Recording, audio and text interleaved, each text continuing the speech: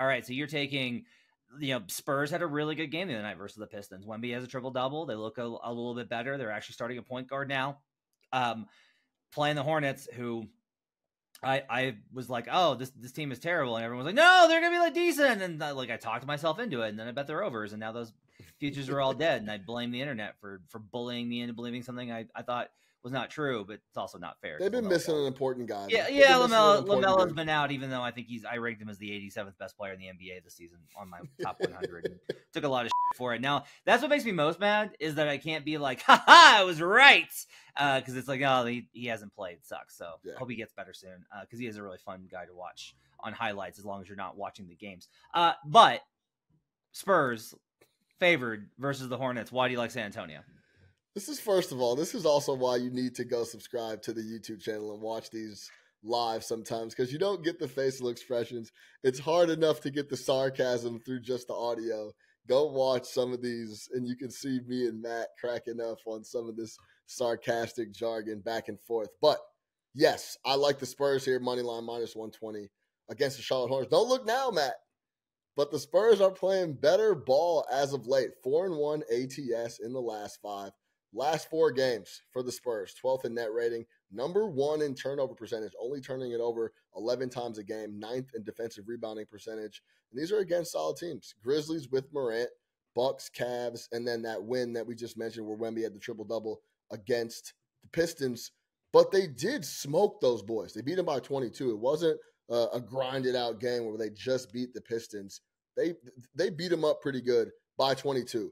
Let's talk about the Hornets one in 14 in their last 15, dead last overall in net rating over that span. Just horrendous on offense, horrendous on defense. They've been decimated by injury, but LaMelo Ball, a couple hours ago, was announced that he is upgraded to questionable, could play in this game.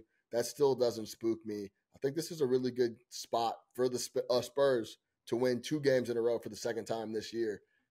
The first time they won two games in a row this year, Matt, you'll remember they beat the Suns in Phoenix back to back on, like the little duplex home and home, and that maybe should have been our our our initial red flag that the Suns might have some issues here coming down the pipe in the 2023-2024 season. But we'll get we'll, we'll talk about Phoenix another time. Maybe we'll talk about them in the division piece. But they only have two home wins all year long. The Spurs.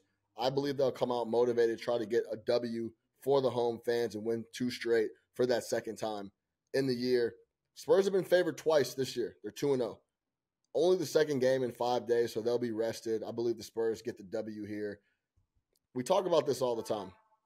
There are there are points in the week and on the schedule where, hey, we know we're not a good team. Pop knows it. Victor Wembanyama, of course, is a rookie trying to get his footing. They have a lot of guys over there. Keldon Johnson, who I really like his game. But there's there's times where they suit up and they're like, we're going to be hard pressed to get a W here.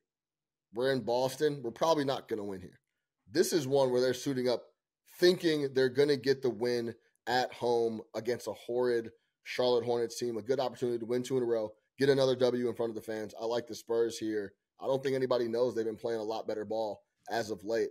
I'll lay the the the ten cents, take the Spurs minus one twenty. I wouldn't be mad if you took minus one for minus one ten, minus one hundred five, wherever you can get the best number, whatever you feel comfortable with. But I believe the Spurs get the W here.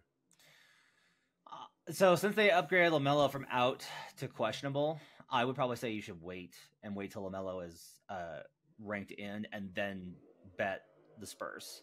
And like I, I, that's probably what I will do is I will actually bet San Antonio if Lamelo is clear to play. Uh, here's a number for you. Over the last three seasons, this includes a really good season that they had a couple of years ago.